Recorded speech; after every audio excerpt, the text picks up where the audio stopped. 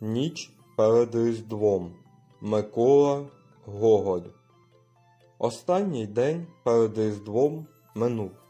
Зимова ясна ніч настала. Гранули зірки, місяць велично випав на небо посвітити добрим людям та всьому світові, щоб усім було весело колядувати і славити Христа. Морозило дужче, як зранку, але зате так було тихо, що ропіння морозу під чоботом чути було за півверсти.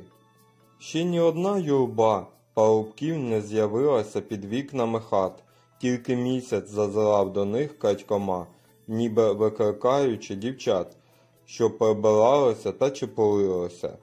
Хучій вибігати на липучий сніг, аж ось з димаря однієї хати ковбами посунув дим і пішов хмарою по небу, і разом з димом вилетіла відьма верхи на мітрі.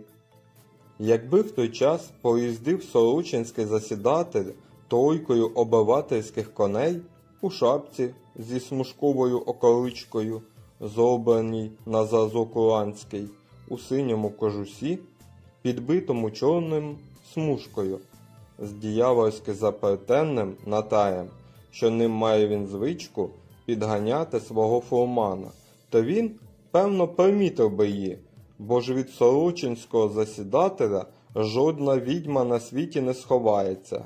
Він знає точно, скільки в якої баби свиня переводить поросят, і скільки в скрині лежить полотна, і що саме зі своєї одежини й добра заставить добрий чоловік у неділю в шинку. Але Сорочинський засідатель не поїздив, та яке йому діло до чужих, у нього своя волость. А відьма тим часом знялася так високо, що тільки чорною цяткою миготіла вгорі. Та де тільки з'явилася цятка, там зорі одна по одній зникали на небі. Незабаром відьма назбирала їх повний рукав. Три чи чотири ще борщали. Раптом з іншого боку з'явилася друга цяточка, побільшала, почала розтягатись, і вже то була не цяточка. Короткозорий, хоч би він наклав на ніс, замість окулярів колеса з комісарової брички, і тоді не розпізнав би, що воно таке. Спереду до стоту німець, вузенька мордочка, яка безнастанно вертілася на всі боки, та нюхала все, що тільки траплялося, закінчувалась, як в наших свиней, кругленьким п'ятачком. Ніжки були такі тоненькі, що коли б такі мав Ялесківський голова, то він поламав би їх за першим козачком. А зате ззаду був він точнісінько губернський стряпчий в мундирі, бо в нього теліпався хвіст, такий гострий та довгий, як теперішні мундирні фарди, хіба тільки по цапиній бороді під модою, по невеличких ріжках, які стирчали на голові, та щось увесь був не більший від сажотруса. Можна було догадатися, що то не німець і не губернський стряпчий, а просто чорт, у якому останню ніч залишилося вештатись по білому світу та під'їжджувати на гріхи добрих людей. Завтра ж тільки но вдарять перші дзвони до утренній, побіжить він, не оглядаючись, підібравши хвоста до свого барлога. Тим часом чорт підкрадався потихеньку до місяця і вже простягнув був руку, щоб схопити його, та враз смикнув її назад, ніби обпікшись, посмоктав пальці, подригав ногою і забіг з другого боку, і знову відскочив та відсмикнув руку. Але ж, незважаючи на невдачі, хитрий чорт не покинув своїх витівок. Підбігши раптом, схопив він обома руками місяць, кривляючись та дмухаючи, перекидав його з руки в руку, як мужик, що дістав голими руками жарину для своєї людки. Нарешті, поквапно, сховав до кишені і начебто нічого й не було, побіг далі. У диканці ніхто не чув, як чорт украв місяця. Щоправда, волосний писар, виходячи рачки з шинку, бачив, як місяць, не знати чого, танцював на небі і запевняв божачись у тому все село та миряни хитали головами і навіть підіймали його на сміх. Та яка ж була причина зважитися чортові на таке беззаконне діло? А ось яка він знав, що багатого козака Чуба запросив дяк до себе на кутю, де будуть голова, приїжджий дяків родич у синьому суртуці, що брав якнайнижчого баса, козак Свербегуз і ще дехто, де крім куті буде валенуха, перегнана на шафран, горілка та багато всякої страви. А тим часом його дочка Красуня на все село зостанеться дома, а до дочки, напевно, прийде коваль, силач і хлопець хоч куди, що був чортові осоружний, ніж по оповіді отця кіндата. На дозвіллі коваль малював і вславився як найкращий живописець на всю околицю. Сам сотник, що був ще тоді живий, здоровий, закликав його навмисто до Полтави пофарбувати дерев'яний паркан коло свого дому. Всі миски, з яких диканські козаки сьорбали борщ, були розмальовані ковалем. Коваль був богобоязлива людина і малював часто образи святих. І тепер ще можна знайти в церкві його євангеліста Луку. Але тріумфом його майстерності була одна картина, намальована на церковній стіні у правому притворі, на якій зобразив він святого Петра в день страшного суду з ключами в руках, як той виганяв з пекла нечисту силу. Переляканий чорт кидався на всі боки, перечуваючи свою погибель, а замкнені колись грішники били й ганяли його батогами, поріняками і всім, що під руку трапилось. У той час, як майстер працював над цією картиною і малював її на великій дерев'яній дошці, чорт з усієї сили намагався перешкоджати йому, штовхав невидимо під руку, хапав і згорнав кузні попіл, обсипав ним картину, та, незважаючи на все, роботу було закінчено, дошку внесено до церкви і вправлено у стіну, притвори. І з того часу чорт заприсягся мститися ковалеві.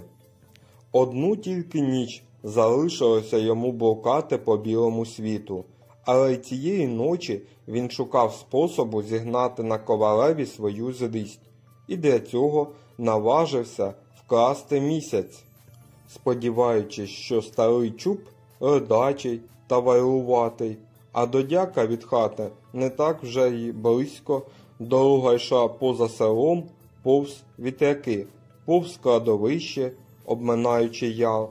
Ще місячної ночі валенуха та горілка, настояна на шафрані, могли б і заманити чуба, але в таку темряву навряд чи вдалося б кому стягти його з печі та викликати з хати. А коваль, що здавна не ладнав з ним, при цьому ні за що не наважиться прийти до дочки, дарма що дужий. Отаким чином, як тільки чорт сховав у кишеню свою місяць, враз по всьому світі зробилося так темно, що не кожен би знайшов дорогу до шинку, не тільки до дяка. Відьма, опинившись раптом у темряві, скрикнула. Тут чорт, підкотившись до неї бісиком, підхопив її під руку і заходився нашіптувати на ухо те саме, що звичайно нашіптують усій жіночій природі. Дивно ведеться в нас на світі, все, що тільки живе на ньому, все намагається переймати та перекривляти одне одного. Перше бувало в Миргороді, один тільки суддя та городничий ходили взимку укритих сукном кожухах, а все дрібне чиновництво носило кожухи некриті. А тепер і засідатель, і підкоморий отсмалили собі нові шуби з решетилівського смужку, сукном криті. Канцелярист та волосний писар позаторік набрали синьої китайки по 6 гривень за аршин. Парамал зробив собі на літо китайчані шаровари та жилетку смугастого галусу. Одно слово, все пнеться в люди. Коли ці люди зречуться суєтності, можна побитися об закат, що багатьом видається дивним бачити чорта, який пустився і собі туди ж таки. Найприкріше те, що він певно уявляє себе красеним. Тим часом, як постать у нього, глянути соромно, пика, як каже Хома Григорович, мерзота над мерзотою. Проте й він любощів прагне, але на небі і під небом так зробилося темно, що нічого не можна було вже бачити, що там було далі між ними. То ти, куме, ще не був у дяка в новій хаті? говорив козак Чуб, виходячи з своєї хати, до сухорявого, високого, в короткій кожушині мужика з бородою, яка свідчила, що вже тижнів за два чи більше не торкався до неї з кісок, яким, звичайно, мужики горять бороди, не маючи бритви.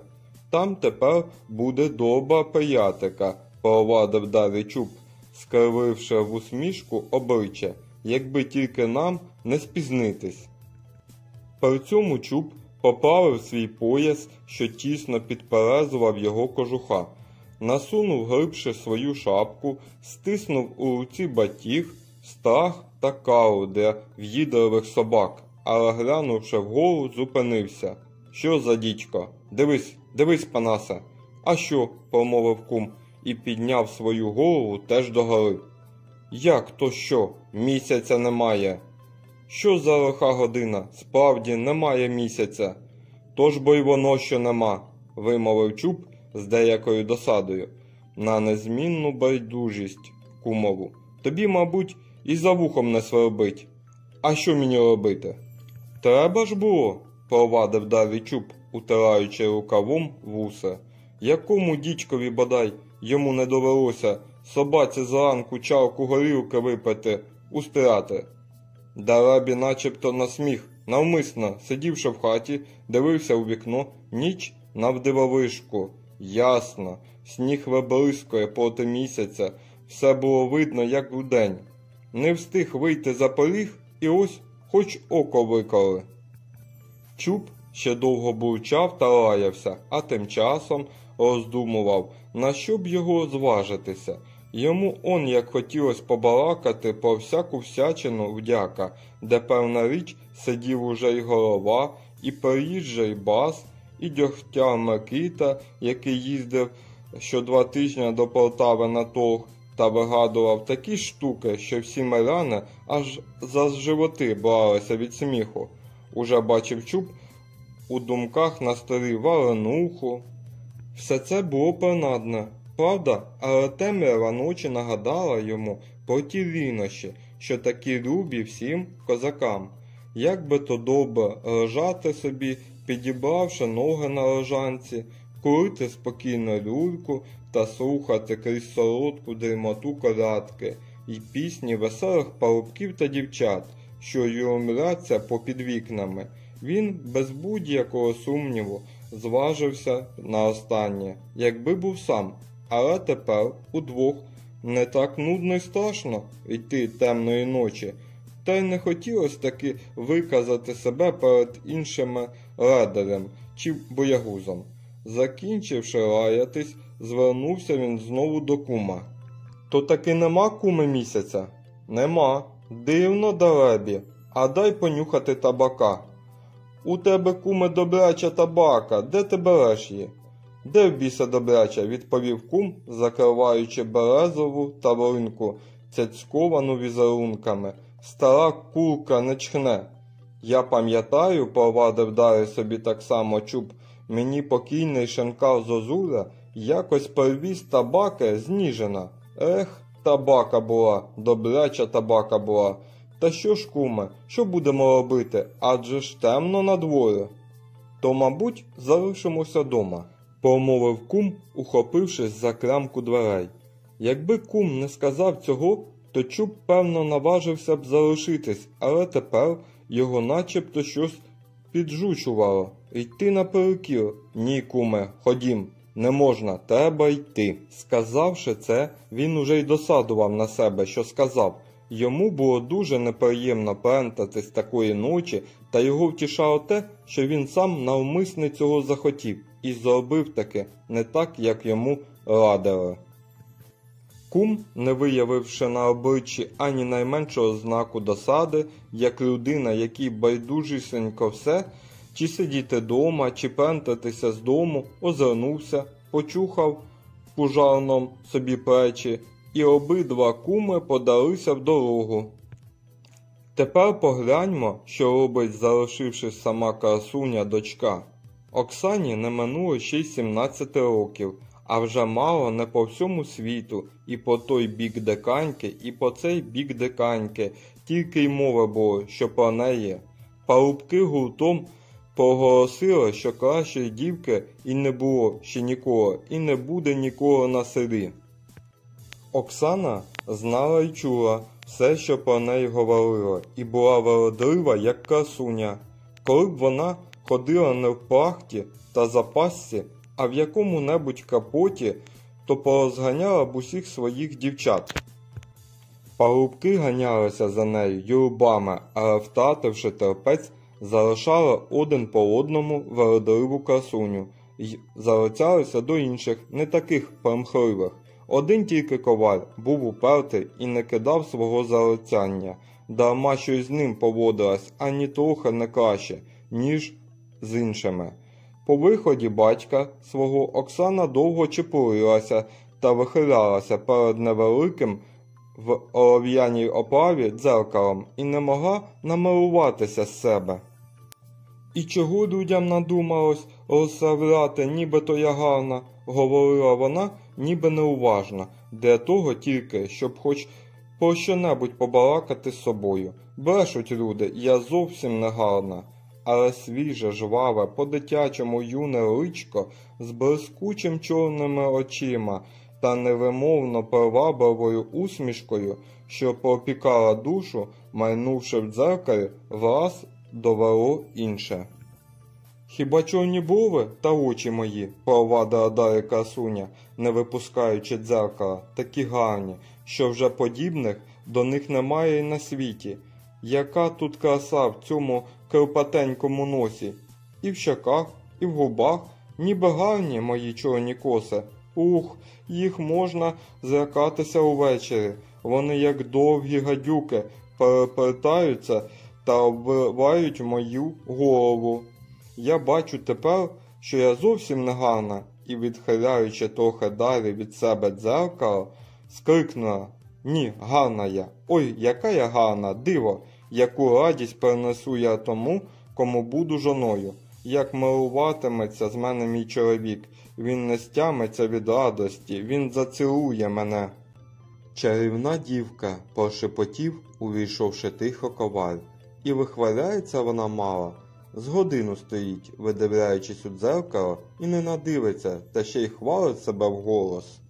Еге ж, парубки, чи ж вам допало я? Ви погляньте на мене, вела далі гарненька кокетка. Як я плавно виступаю, у мене сорочка вишита червоним шовком, а які стрічки на голові. Вам до віку не бачите пишнішого гаруна. Всього цього накупив мені батько мій, що подружився зо мною найкращий молодець у світі, і, усміхнувшись, обернулася вона і побачила коваля. Скрикнула і суворо зупинилася перед ним. Коваль і руки опустив. Важко сказати, що виявляло смагляве личко чарівної дівчини, і суворість в ньому було видно, і крізь суворість якесь глузування зі збентеженого коваля, і ледве помітна краска досади тонко розривалася по обличчю. І все це так перемішалося, і таке було невимовно гарне, що поцілувати її мільйон разів от усе, що можна було зробити тоді найліпшого. Чого ти прийшов сюди? так почала Оксана. Хіба хочеться, щоб ви проводила за двері лопатою? Чи ви всі майстри під'їжджати до нас? Вмить пронюхаєте, коли батьків нема дома. О, я знаю вас, що скриня моя готова, буде готова, моє серденько, після свят буде готова. Коли б ти знала, скільки попрацював я коло неї, дві ночі не виходив з кузні, зате в жодної попівни не буде такої скрині. Залізо поклав таке, якого не клав на сотникову таратайку, коли ходив до роботи на Полтаву. А як буде розмальована, хоч усю околицю виходи своїми біленькими ніжками, не знайдеш такої. По всьому полі будуть розкидані червоні і сині квіти. Горітиме, як жар. Не серце ж на мене. Дозволь хоч поговорити, хоч подивитись на тебе. Хто ж тобі боронить? Говори і дивись. Тут сіла вона на лаву і знову глянула в дзеркало і стала поправляти на голові свої коси. Поглянула на шию, на нову сорочку, вишиту шовком, і тонке почуття самовдоволення з'явилося на устах, на свіжих щічках відсвітилося в очах. Дозволь і мені сісти біля тебе, сказав коваль. Сідай, помовила Оксана, зберігаючи на устах та у вдоволених очах те саме почуття. Чарівна, люба Оксана, дозволь поцілувати тебе, промовив підбадьорений коваль і пригорнув її до себе, наміряючись поцілувати. Та Оксана відхилила свої щоки, що були вже на непримітній віддалі від губ коваля, і відіпхнула його. Чого тобі ще хочеться? Йому як мед, то й ложку. Геть від мене, тебе руки цупкіші за заріза. Та й сам ти пахнеш димом. Я думаю, геть мене забруднив сажею. Тут вона піднесла дзеркало і знову почала перед ним чепоритися. Не любить вона мене, думав про себе, похиливши голову коваль. Їй усе іграшки, а я стою перед нею, як дурень, і очей не звожу з неї. І все б стояв перед нею, і повік би не зводив з неї очей. Чарівна дівчина. Чого б я не дав, щоб дізнатися, що в неї на серці? Кого вона кохає?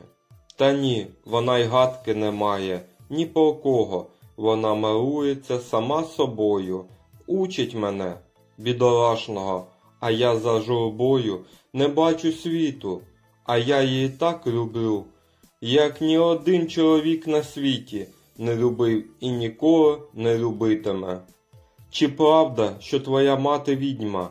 промовила Оксана і засміялася, і коваль відчув, що всередині у нього все засміялося. Сміх цей начебто враз озвався у серці, тихо заграла жила, а разом з тим і досада запала йому на душу, що він не мав права поцілувати це милим сміхом осяяне личко.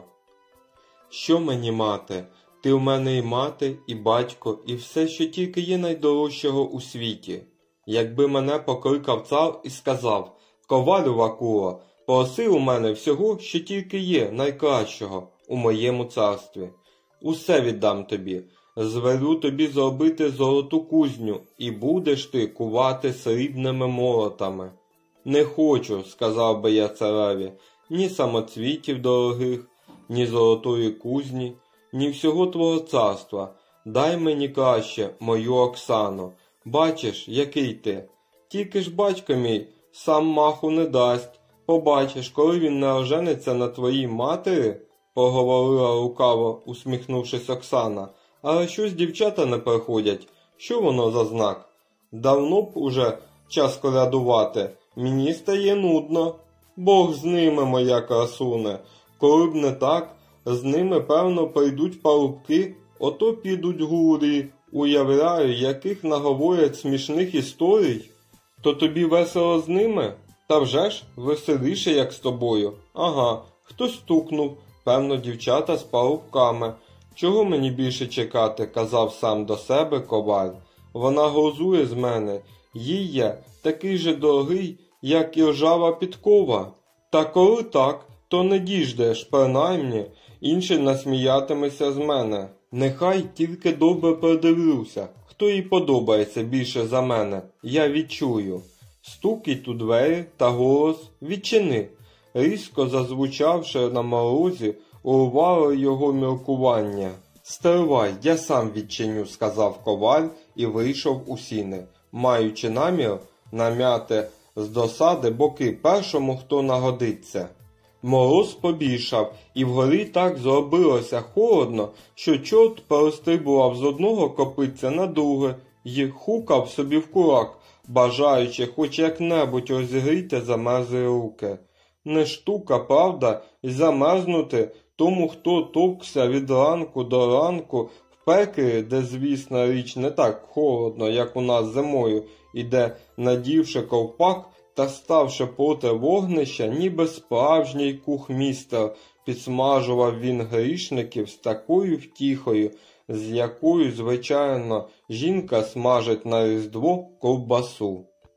Відьма і собі відчула, що холодно, дарма що була тепло одягнена, і тому, піднявши руки догори, відставила ногу та, прибавши такої пози, як людина, що мчить на ковзанах, не зворухнувшись жодним суставом, спустилася повітрям, ніби по льодовій похилій горі, і просто вдимав.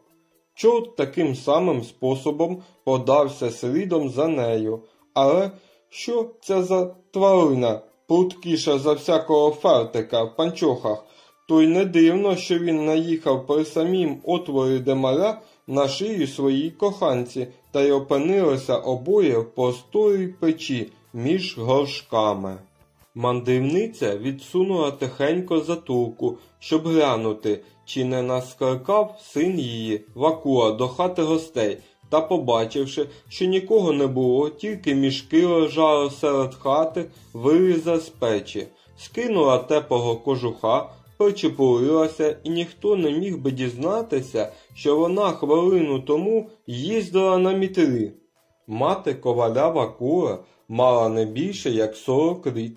Вона була ні гарна, ні погана з себе. Важко й бути гарною в такі роки, однак вона вміла так причарувати до себе найстатечніших козаків, яким не завадить, між іншим сказати, мало було діла до краси, що до неї вчащали і голова, і дяк Йосип Никифорович, звісно, коли дячихи не було дома, і козак Корнійчук, і козак Касян Свербегус, і на похвалу їй слід сказати, вона так уміло обходилася з ними, що жодному з них і на думку не спало, що в нього є суперник.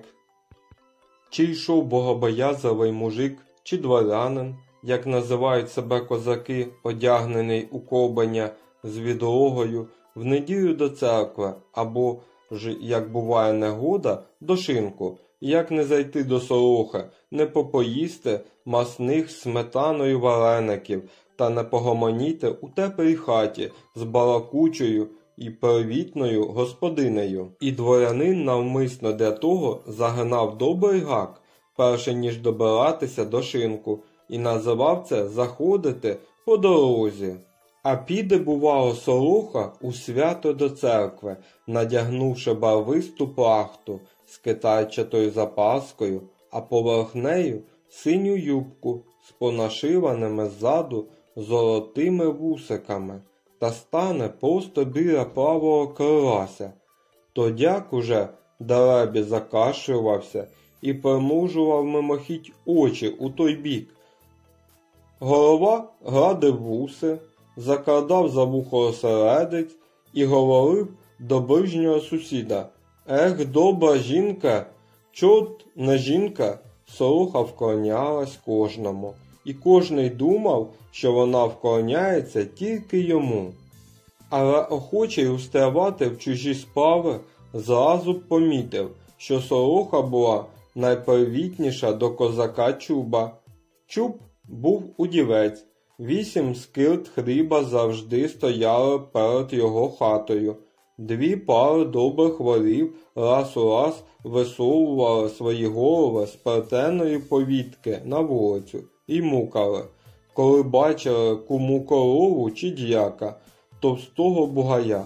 Бородатий цап видирався аж на стріху і деренчав звідти різким голосом, як городничий. Дажнячі індичок, що виступали на подвір'ї і, повертаючись задом, коли бачив своїх ворогів, хлопчаків, які глумилися з його бороди.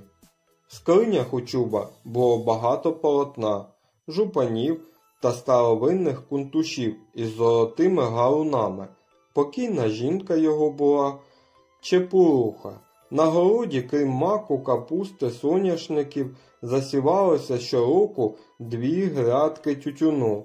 Сороха не від того була, щоб приєднати все це до свого хазяйства, заздалегідь, міркуючи, який вона дасть йому рад, коли прибере до своїх рук і ще подвоювала прихильність до старого чуба.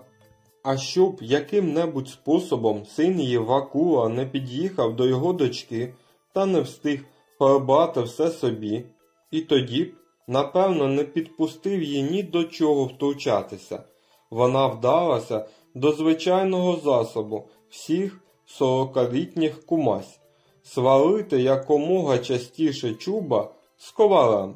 Можливо, саме ці хитрощі та кмітливість її і призвели до того, що подекуди стало балакати старі баби, особливо коли випивали де-небудь на веселій бесіді зайву чавку, що сороха справді відьма, що парубки бачили у неї ззаду хвіст не більший за бабське веретено, що вона ще поза той четвер чорною кішкою перебігла дорогу, що до попаді якось прибігла свиня заспівала півнем, нап'яла на голову шапку отця кіндрата і побігла назад.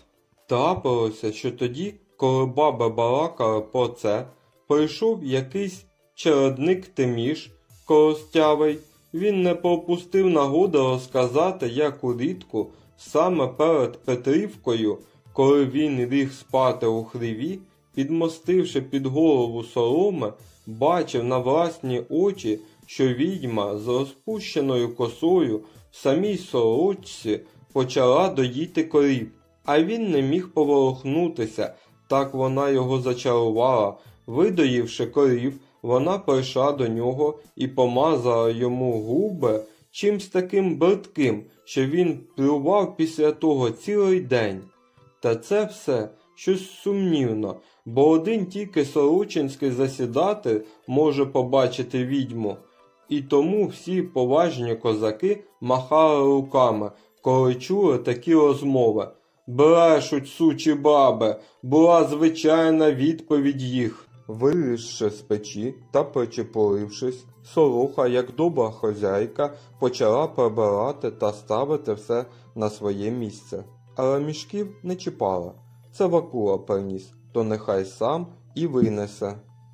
Чорт тим часом коли ще вертав у Демал, якось ненавмисно обернувшись, побачив чуба під руку з кумом. Вже далеко від хати. Умить вилетів він з печі, перебіг їм дорогу та й почав розкидати з усіх боків кучугури замерзлого снігу. Знялася метелиця. У повітрі забіріло, сніг літав сюди й туди мережевом і загрожував позаріплювати очі роти і вуха перехожим. А чорт полетів знову в Демал, бувши цілком певний, що чуб повернеться разом з кумом назад, застане коваря і почастує його так, що той довго не зможе взяти в руки пензля та малювати образові карикатури. Справді, тільки но здійнялась метелиця, і вітер почав різати просто в очі, як чуб уже каявся і, насуваючи глибше на голову капелюха, частував лайкою себе, чорта і кума. А втім, досада ця була удавана. Чуб дуже радий був, що здійнялась за метіль, Додяка було ще у вісім разів більше тої віддари, яку вони пройшли. Мандрівники повернули назад. Вітер дув у потилицю, але крізь хуртовину нічого не було видно. Стривай, куме, ми, здається, не туди йдемо, сказав трохи відійшовши чуб. Я не бачу жодної хати. Оце то метелиця. Зверни но ти, куме, трохи вбік, чи не натрапиш на дорогу, а я тим часом пошукаю тут. І понесе ж нечиста сила плентатися в таку хугу. Не забудь гукнути, коли знайдеш дорогу, ач яку купу снігу напустив у вічі сатана. Дороги, одначе, не було видно. Кум, відійшовши вбік, брохав у довгих чоботях туди-сюди, нарешті натрапив просто на шинок. Ця знахідка так його втішила, що він забув про все і, обтрусивши з себе сніг, увійшов у сіни, нітрохи не турбуючись про кума, що залишився на вулиці. Чубові уявилося тим часом, що він знайшов дорогу. Спинившись, заходився він кричати з усієї сили, але бачивши, що кум не з'являється, вирішив іти сам. Трохи пройшовши, побачив він свою хату. Кучугуро снігу лежала круг неї і на покрівлі.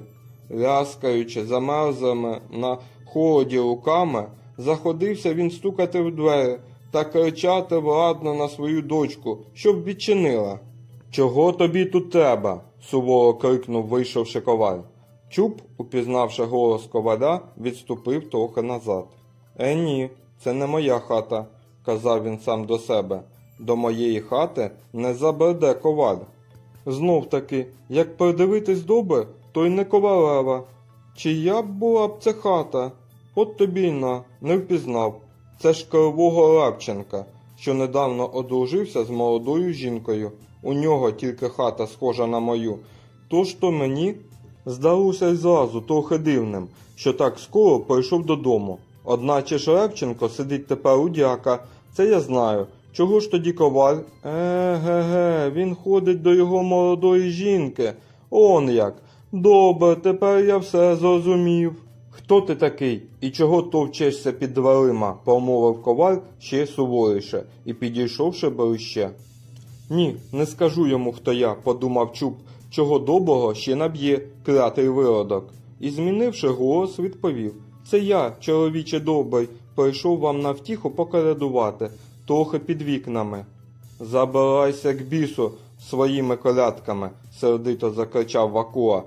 Чого ж ти стоїш? Чуєш, забирайся зараз таки геть.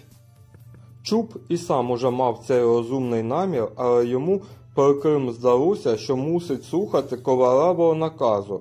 Здавалося, якась нечиста сила штовхала його під руку і змушувала сказати щонебудь наперекір. Що ж ти справді так розкричався? промовив він тим самим голосом. Я хочу колядувати, та й годі. Еге, та тебе словами не вгамуєш. Слідом за цими словами чуб відчув переболючий удар в плече. То оце ти, як бачу, починаєш уже битися, помовив він трохи відступаючи.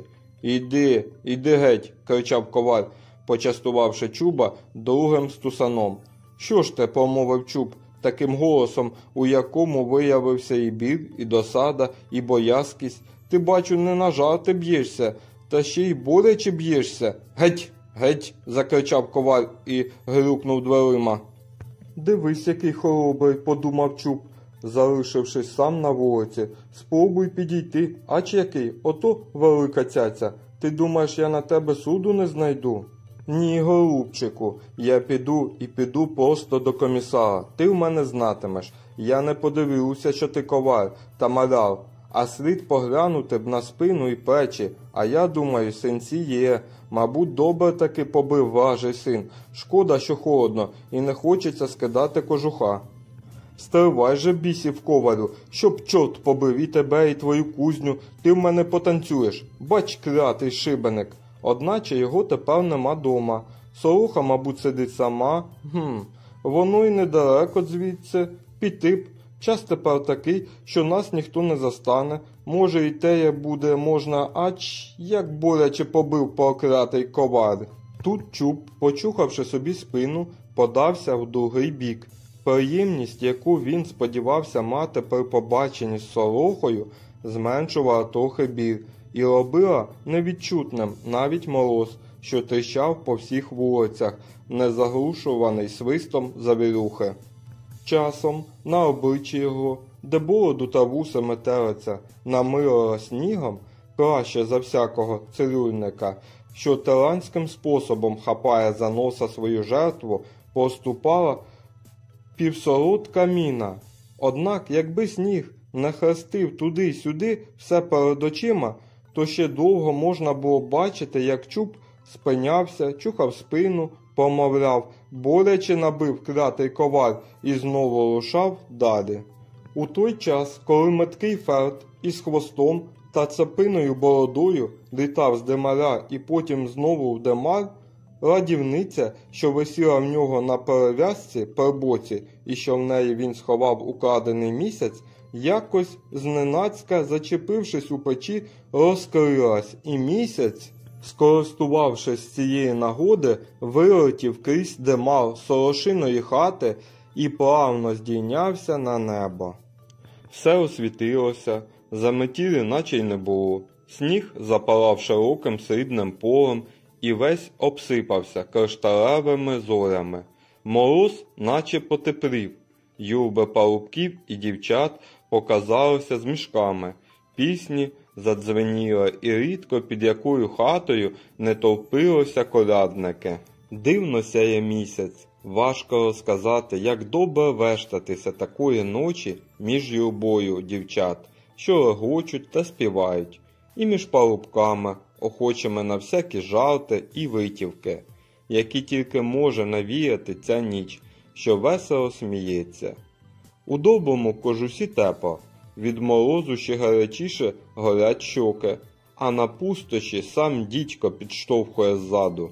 Купа дівчат з мішками вдарилися до хати чуба, обступили Оксану, крик, регіт, балачки, приголомшили коваля. Всі наввипередки поспішали розказувати красуні щонебудь нове, викрадати з мішків і хвалитися паляницями, ковбасами, варениками, яких встигли чимало вже наколядувати. Оксана, здавалось, була цілком задоволена і рада, щебетала то з тією, то з тією і реготала, не вгаваючи. З якоюсь досадою і заздрістю дивився коваль на таку веселість, і цього разу кляв колядки, хоча й сам не раз захоплювався ними донестями.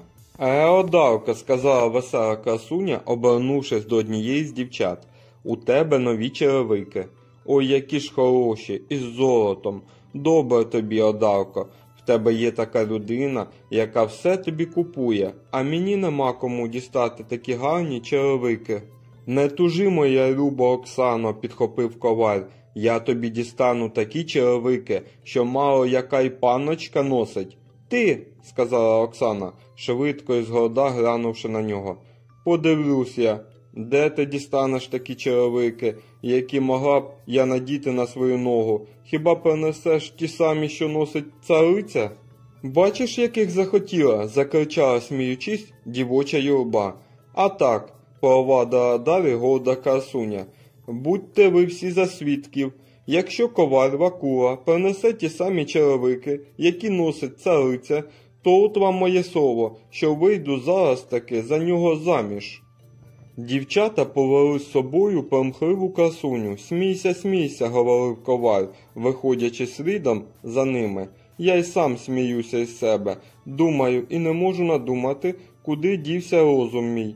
Вона мене не любить, ну Бог з нею, ніби тільки на всьому світі і є, що Оксана. Хвалити Бога дівчат багато, є хороших і без неї на селі. Та й що Оксана? З неї ніколи не буде доброї хазяйки, вона вміє тільки чепуритися. Ну, годі, час покинути ці дурнощі, але в той самий час, коли коваль готувався бути рішучим, якийсь злий дух проносив перед ним усміхнений образ Оксани, що говорила грузливо Дістань, ковалю, царицяні черевики, вийду за тебе заміж. Все в ньому хвилювалось, і він думав тільки про одну Оксану. юрби, колядників, парубки окремо, дівчата окремо поспішали з однієї вулиці на другу, але коваль ішов і нічого не бачив, і не брав участі у тих веселощах, які колись любив більше за все. Чорт тим часом не на жарт зніжився в Солохи, цілував її руку з такими вихилясами, як засідати по півні, хапався за серце, охав і сказав прямо, що коли вона не погодиться вдовольнити його спрагу і як водиться нагородити, то він радим на все, кинеться в воду, а душу поше прямо в пекло. Солоха була не така вже жорстока. До того, що, от, як відомо, діяв з нею заодно. Вона таки любила бачити цілий натовп, що упадав біля неї, і рідко бувала без компанії. А цей вечір, однак, думала перебути сама, бо всіх значних людей в селі було закликано на кутю до дяка. Та все обернулося по-іншому. Чорт тільки но висловив свою вимогу, як раптом почувся стукіт, і голос кремезного голови Солуха побігла відчиняти двері, а спритний чорт вліз у мішок, що лежав долі. Голова, обтрусивши своїх капелюхів сніг та випивши з сорошиних рук чарку горілки, розказав, що він не пішов до дяка, бо знялася заметіль, а побачивши світло в її хаті, завернув до неї, маючи намір перебути вечір з нею. Не встиг голова це сказати, як у двері загрюкало знов, і почувся голос дяка. Сховай мене куди-небудь, шепотів голова. Мені не хочеться тепер зустрічатися з дяком. Солоха думала довго, куди заховати такого оглядного гостя. Нарешті вибрала найбільший мішок з вугіллям, вугілля висипала в кадовп, і кремезний голова забрався з вусами, з головою і з капелюхами в мішок. Діяк увійшов, покрехтуючи та потираючи руки, і розказав, що в нього не було нікого, і що він сердечно радий цій нагоді погуляти трохи в неї, і не злякався за метіри. Тут він підійшов до неї ближче, кашлянув, усміхнувся, доторкнувся своїми довгими пальцями до її оголеної повної руки і промовив з таким виглядом, у якому виявилося і лукавство, і самовдоволеність. А що це у вас, великоліпно сорохо? І сказавши це, відскочив він трохи назад. Як то що? Рука, Йосипе Никифоровичу, відповіла сороха. Хм, рука, хе-хе-хе, помовив сердечно задоволений зі свого почину дяк і пройшовся по кімнаті. А це що у вас, дражайше сорохо? промовив він з таким самим виглядом, приступивши до неї знову, торкнувшися злегка рукою за шию, і так само відскочив назад. Ніби не бачите, Йосипе Никифоровичу, відповідала сороха, шия, а на шиї намисто. Хм, на шиї намисто, хе-хе-хе-хе. І діяк знову пройшовся по хаті, потираючи руки. А це що у вас незрівнянна сорохо? Не знати, до чого б тепер доторкнувся діяк своїми довгими пальцями, коли раптом у двері застукало і почувся голос козака Чуба. Ой Боже мій, стороння особа, закричав переляканий діяк. Що ж тепер, як застануть особу мого звання, дійде до отця кіндрата? Та діякове побоювання було іншого роду. Він боявся більше того, щоб не дізналась його половина, що й без того вже страшною рукою своєю зробила з його товстої коси таку тоненьку. Бога раде, доброчесна сорохо, говорив він тремтячим всім тілом. Ваша добрість, як сказано в писанні руки, глава терна трин. Стукають, їй богу, стукають. Ой сховайте мене куди-небудь. Солоха висипала вугілля в кадок з другого мішка, і не дуже тілистий діяк заліз у нього та й примостився на самому дні, так, що поверх нього можна було б насипати ще півмішка вугілля. Здорова будь, Солохо, сказав, увіходячи до хати, чуб. Ти, може, й не чекала мене, га? Правда ж не чекала? Може, я перебив? Провадив далі чуб, показуючи на обличчі жартівливу та значущу міну, яка заздалегідь давала знати, що неповоротна голова його трудилася і готувалася пустити який-небудь ущипливий і химерний дотеп. Може, ви тут і розважалися з ким-небудь? Може, ти кого-небудь і сховала вже, га? І захоплений таким своїм зауваженням, чуб засміявся, тішачись в душі, що він один тільки користується з доброї прихильності Солоха. Ну, Солоха, дай тепер випити горілки. Я думаю, в мене горло замерзло від проклятого морозу. І послав Бог таку ніч перед Різдвом. Як здійнялася, чуєш, Солохо, як здійнялася, ото задубіли руки, не розстебну кожуха, як здійнялася метелиця. Відчини, почувся з голос, супроводжуваний поштовхом у двері. Стукає хтось, сказав, зупинивши щуп. Відчини. закричали ще дужче. Це коваль, промовив, схопившись за капелюхи чуб. Слухай, Солохо, куди хочеш, сховай мене. Я ні за що у світі не хочу потрапити на очі цьому виродкові, проклятому бодай йому чортовому синові, набігло під обома очима по пухареві скопицю, завбіжки. Соруха, злякавшись і собі метушилась, як очамеріла, і, втративши голову, дала знак чубові лізти в той самий мішок, в якому вже сидів діяк.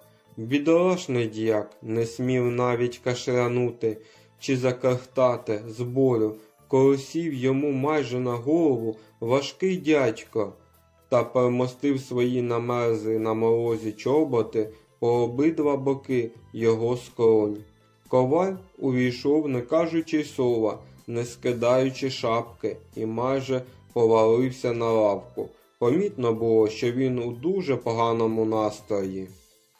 У той самий час, як сороха зачиняла за ним двері, хтось постукав знову. То був козак Свербегус. Цього вже не можна заховати в мішок, бо й мішка такого не можна було знайти. Він був товстіший за самого голову і вищий на зріст за чубового кума, і тому сороха вивела його на город, щоб вислухати від нього все те, що він мав їй сказати. Коваль неуважно оглядав кутки своєї хати, прислухаючись часом до пісень колядників, що далеко лунали по селу. Нарешті спинив очі на мішках. Чого лежать тут, оці мішки? Їх давно б час прибрати звідси. Через оту безглузду любов я здурів зовсім. Завтра свято, а в хаті й досі валяється всякий моторг. Віднесу їх до кузні. Тут коваль присів до величезних мішків, перев'язав їх міцніше і ладнався завдати собі на печі, але помітно було, що його думки гуляють Бог знає де, інакше б він почув, як зашипів чуб, коли волосся на голові його перекрутила зав'язка, а здоровенний голова почав був гикати досить виразно. Невже не виб'ється з голови моєї ця негідна Оксана, говорив коваль, не хочу думати про неї, а воно все думається, і як навмисно про неї саму тільки. Чого це так? Що? Думка проти волі лізе в голову. Що за чорт, мішки начебто чогось поважчали. Тут, певно, накладено ще чого-небудь, крім вугілля. Дурень я, я й забув, що тепер мені все здається важчим. Перше, бувало, я міг зігнути і розігнути в одній руці мідний п'ятак та кінську підкову, а тепер мішка з вугіллям не підійму. Скоро вже від вітру валитимусь. Та ні, скрикнув він, помовчавши і підбадьорившись. Що я за баба? Не дам нікому сміятися з себе. Хоч десять таких мішків усі підійму. І бадього завдав собі на плечі мішки, що їх не понесли б і двоє дужих чоловіків. Взяти цього, казав він далі, підіймаючи невеличкого, на дні якого лежав, скоцюбившись чорт. Тут, здається, я поклав інструмент свій. Сказавши це, він вийшов із хати, насвистуючи пісню. Мені з жінкою не возитися. Голосніше й голосніше лунали на вулицях пісні та крики. Юби народу побільшали ще тому, що чимало прийшло із сусідніх сіл. Парубки жартували і казилися до схочу.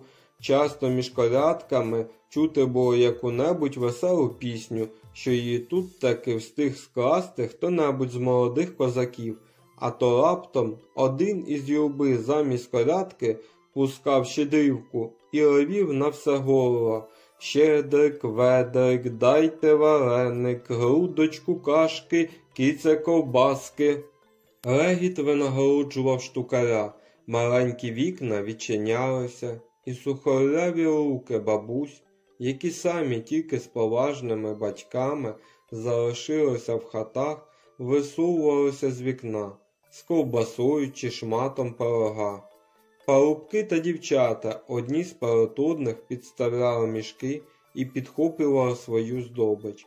В одному місці парубки, зайшовши з усіх боків, оточували груд дівчат. Галас, гамір, той кидав грудкою снігу, той видирав мішок з усякою сячиною. В іншому місці дівчата ловили парубка, підставляли йому ногу, і він летів разом з мішком сточ головою на землю. Здавалося, цілу ніч ладні були веселитися, і ніч, як на те, так розкішно жевріла, і ще більшим здавалося світло місяця від блиску снігу.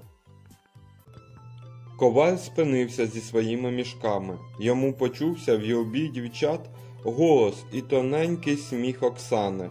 Всі жилки в ньому здогнулись. Кинувши на землю мішки, аж діяк, що був на самому дні, заохкав. Забившись, і голова гикнув на все горло. Подався він з маленьким мішком за плечима, разом з гуртом парубків, що йшли слідом за тою дівочою юрбою, звідки йому почувся голос Оксани. Так це вона стоїть, як цариця, і блискає чорними очима. Їй розказує щось показний парубок. Мабуть, забавне, бо вона сміється. Та вона завжди сміється, нібито мимохідь, сам не розуміючи, як, продерся коваль крізь натовп і став коло неї. А, Вакуло, ти тут? Здоров, сказала красуня з тою самою усмішкою, що мало не зводила Вакулу з розуму. Ну, багато наколядував. Е, який маленький мішок. А черевики, які носить цариця, дістав? Дістань черевики, вийду за тебе заміж, і, засміявшись, побігла з гуртом дівчат. Як укопаний стояв коваль на одному місці. Ні, не можу, не сила більше. Промовив він нарешті, але Боже ти мій, чому вона така, з біса гарна, її погляд, і мова, і все. Ну от так і палить, так і палить. Ні, немає вже снаги перемогти себе. Час покласти край усьому. Пропадай, душа, піду втоплюся в ополонці, та й поминай, як звали. Тут рішучим кроком пішов він уперед, догнав гурт, порівнявся з Оксаною і сказав твердим голосом Прощай, Оксано, шукай собі, якого хочеш жениха, молоч кого хочеш, а мене не побачиш більше на цьому світі. Красуня була ніби здивована, хотіла щось сказати, але коваль махнув рукою і побіг геть. Куди, Вакуло? кричали парубки, бачивши, як біжить коваль. Прощайте, браття, кричав у відповідь коваль. Дасть Бог побачимось на тому світі, а на цьому вже не гуляти нам разом. Прощайте, не згадуйте лихом, перекажіть отцю кіндратові, що подслужив панахиду по моїй грішній душі, свічок перед іконами чудотворця та Божої Матері, каюсь, не обмалював через мирські справи. Все добро, яке знайдеться у моїй скрині, на церкву, прощайте. Поговоривши це, коваль кинувся знову бігти з мішком на спині. Він збожеволів, говорили парубки. Пропаща душа, побожно пробурмотіла бабуся, що проходила мимо. Треба піти, розказати, як коваль повісився. Вакула тим часом, пробігши кілька вулиць, спинився передихнути. Куди це я справді біжу? подумав він, начебто вже все пропало. Пошукаю ще способу. Зайду до запорожця пузатого пацюка. Він, кажуть, знає всіх чортів і все зробить, що тільки схоче. Піду, адже душі однаково доведеться гинути. Тут чорт, що довго лежав без будь-якого руху, застрибав у мішку з радості, та коваль, подумавши, що він як-небудь зачепив мішок рукою, спричинив сам цей рух, ударив по мішку дужим кулаком і, стуснувши ним на плечах, подався до пузатого пацюка. Цей пузатий пацюк справді був колись запорожцем, але чи його погнали, чи він сам утік із Запорожжя, цього ніхто не знав. Давно вже років з 10, а може й 15, як він жив у диканці. Спочатку він жив як справжній запорожець, нічого не робив, спав три четверті дня, їв за шістьох косарів і випивав за одним духом мало не ціле відро. А втім, було куди й влізти, бо пацюк, хоч і на зист і невеликий, але вшив був досить важкий. До того ж, шаровари, які носив він, були такі широкі, що, хоч якби він ступив, ніг зовсім було непомітно, і здавалося, горючаний кадовб сунув вулицею. Мабуть, саме цей дало привід позвати його пузатим. Не минуло й кілька днів, як прибув він до села, а всі вже дізналися, що він знахар. Чи хворів хто на щось, зараз кликав пацюка, а пацюкові досить було тільки пошептати кілька слів, і недугу, наче рукою хтось знімав. Чи траплялося, що зголоднілий дворянин вдавився кісткою з риби. Пацюк умів так до діла вдарити в спину, що кістка проходила куди їй слід, не вчинивши ніякої шкоди дворянському голову. Останнім часом його рідко бачили де-небудь. Причиною цьому була, можливо, лінь, а можливо й те, що пролазити в двері ставало йому з кожним роком тяжче. Тоді мирани повинні були вирушати до нього самі, якщо мали яку потребу. Коваль не без побоювання відчинив двері і побачив пацюка, що сидів на дорівці по турецькому перед невеликою діжкою, на якій стояла миска з галушками. Ця миска стояла, як навмисно, в рівень з його ротом. Не поворухнувши й пальцем, він нахилив трохи голову до миски і сьобав юшку, хапаючи часом зубами галушки. Ні, цей, подумав Вакула собі, ще ледачіший за чуба. Той принаймні хоч їсть ложкою, а цей і руки не хоче підняти. Пацюк, мабуть, дуже зайнятий був галушками, бо, здавалося, зовсім і не помітив, як прийшов коваль, який, ледве ступивши на поріг, віддав йому пернезенький укрін. Я до твоєї милості прийшов пацюк, сказав Вакула, кланяючись знову. Товстий пацюк підвів голову та знову заходився сьобати галушки. Ти кажуть, не прогнівайся на цьому слові, сказав, набираючись духу коваль. Я веду про це мову не для того, щоб тобі завдати якоїсь кривди. Доводишся трохи родичем чортові. Помовивши ці слова, Вакула злякався, подумавши, що висловив все прямо і мало зм'якшив гострі слова, і ждучи, що пацюк, схопивши діжку разом з мискою, шпурне йому просто в голову, відступив трохи і затулився рукавом, щоб гаряча юшка з галушок не забризкала йому обличчя. Але пацюк поглянув і знову заходився сьобати галушки. Підбадьорений коваль наважився говорити далі.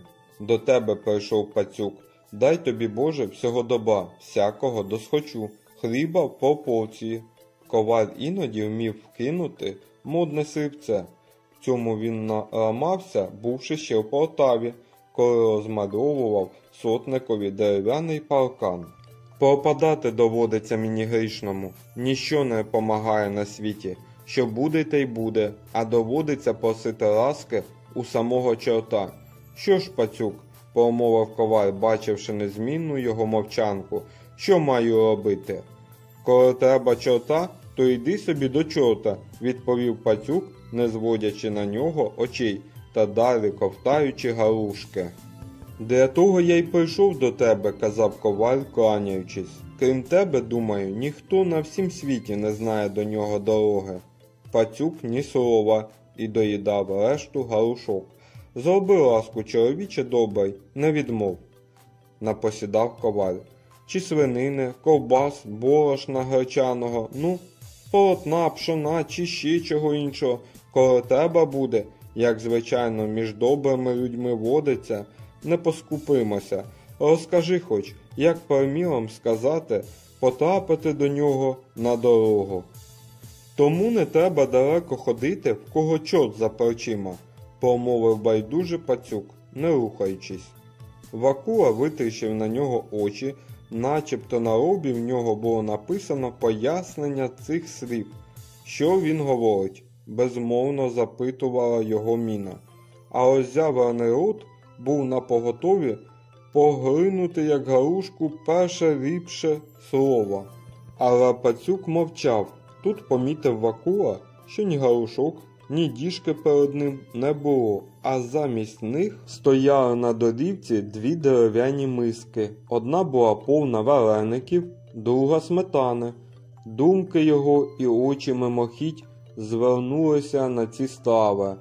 Подивимось, сказав він сам до себе, як це буде пацюк їсти вареники.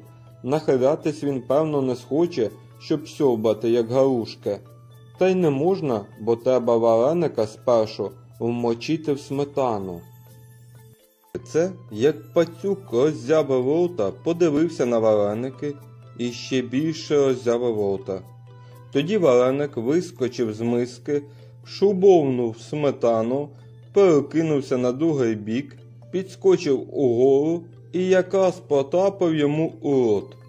Пацюк з'їв і знову роззявив рота і вареник таким самим способом помандрував знову. А його тільки роботи було, що жувати та ковтати. Бач, яке диво, подумав коваль, роззявляючи від здивування рота, і у ту ж мить помітив, що вареник різе і йому в рот, і вже помастив губи сметаною. Відіпхнувши вареник та витерши губи, Коваль почав роздумувати про те, які дива бувають на світі, та до яких тільки мудростей доводить людину нечиста сила, зауваживши при тому, що один тільки пацюк може допомогти йому. Вклонюсь йому ще, хай розтумачить, як слід. Однак що за чорт? Та ж сьогодні голодна кутя, а він їсть вареники скромні. Який з мене справді дурень. Стою тут та гріха набираюся назад, і побожний коваль пожогом вибіг з хати. А проте чорт, що сидів у мішку та заздалегідь уже радів, не міг витерпіти, щоб висознула з його рук така добра здобич. Як тільки коваль спустив мішок, він вискочив з нього і сів верхи йому на шию. Мороз пішов поза шкірою у коваля.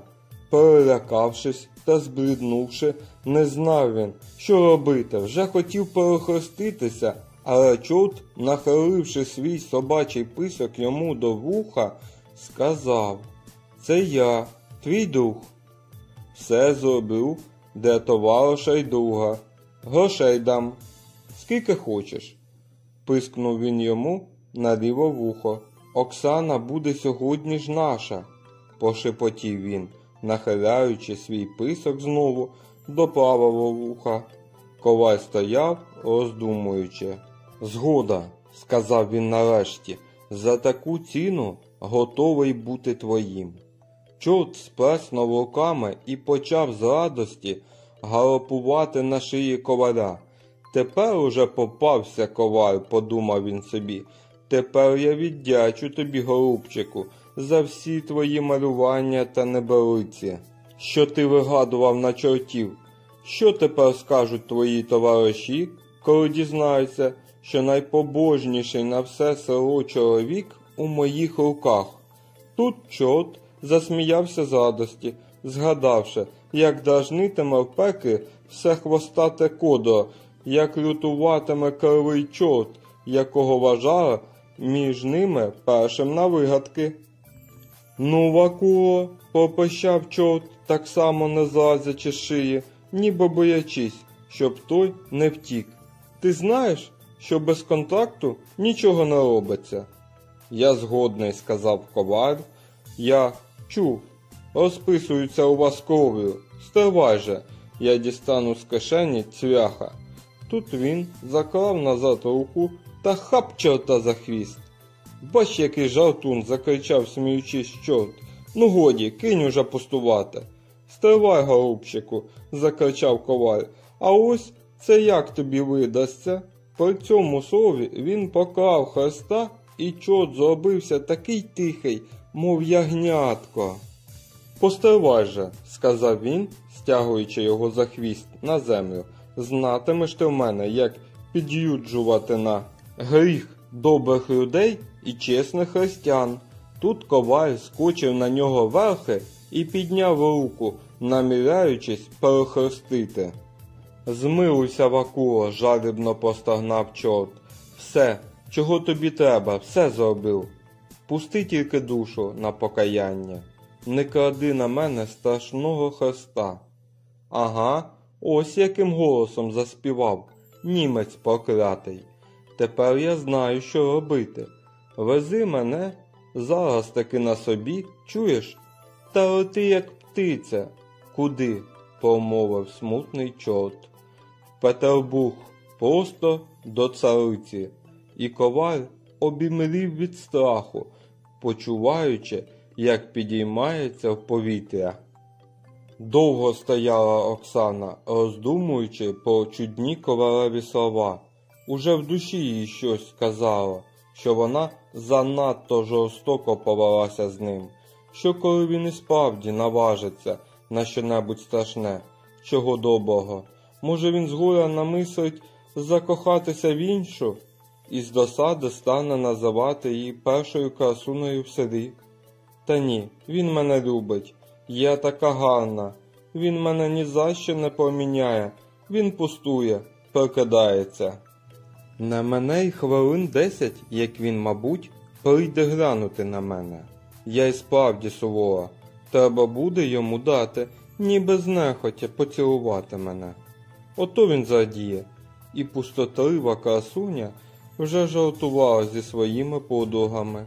Стривайте, сказала одна з них, коваль забув мішки.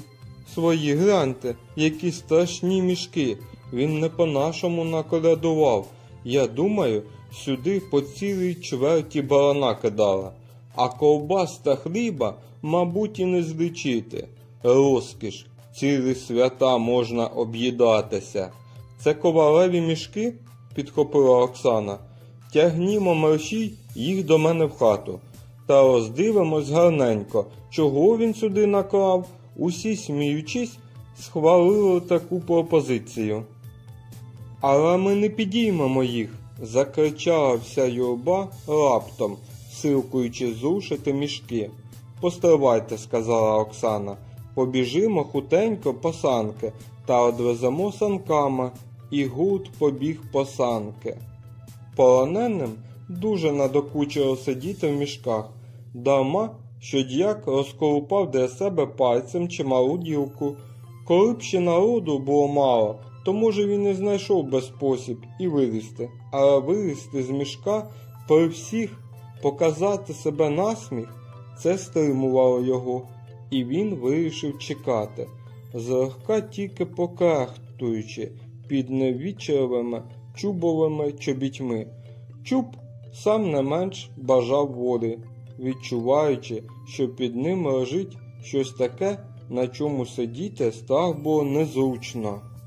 Та коли почув, що вирішила його дочка, то заспокоївся і не хотів уже вилазити, мілкуючи, що до хати своєї треба було пройти принаймні кроків сотню, а то ще й довго.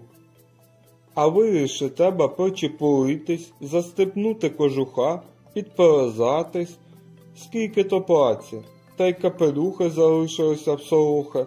Нехай же краще дівчата довезуть на санках. Але сталося зовсім не так, як сподівався Чуб. У той час, коли дівчата побігли по санки, сухорявий кум виходив шинку, збентежений і не в доброму настрої. Шинкалка аж ніяк не наважувалась давати йому набір. Він хотів було дожидатися в шинку, може таки прийде який-небудь побожний дворянин і почастує його, але як навмисно всі дворяни сиділи собі дома і, як чесні християни, їли кутю. Роздумуючи про зіпсуття звичаїв та дерев'яне серце жидівки, що продавала горілку, кум набрив на мішки і став здивований. Бач, які мішки хтось покинув на дорозі, сказав він, оглядаючись на всі боки.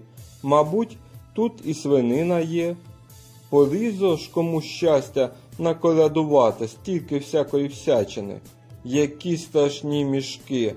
Нехай понабивано їм самими гречаниками та кожами.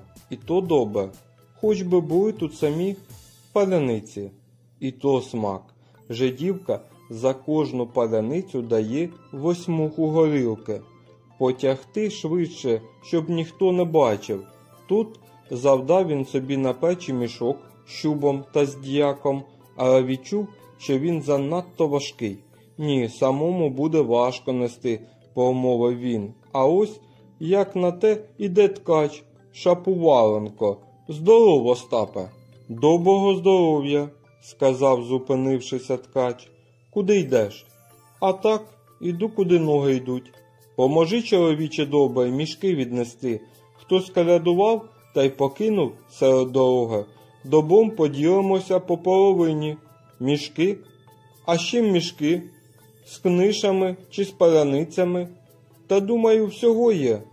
Тут висмикнули вони похапцем із тину по кілку, поклали на них мішок і понесли на плечах.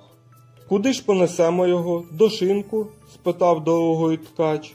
Воно б і я так думав, щоб до шинку. Та проклята жидівка не повірить, подумає ще, що де-небудь украла. До того ж, я тільки з шинку. Ми віднесемо його до мене в хату. Нам ніхто не стане на заваді, жінки нема дома. Чи справді ж нема дома? спитав обережний ткач. Слава Богу, ми не зовсім ще без глузду, сказав кум. Чорт би поніс мене туди, де вона. Вона, певно, тягатиметься з бабами до світу. Хто там? закричала кумова жінка, почувши гомін у сінях, вчинений переходом двох приятелів з мішком, відчиняючи двері. Кум остовпів. От тобі й на, помовив ткач, опустивши руки. Кумова жінка була такий скарб, яких чимало на білому світі, так само, як і її чоловік.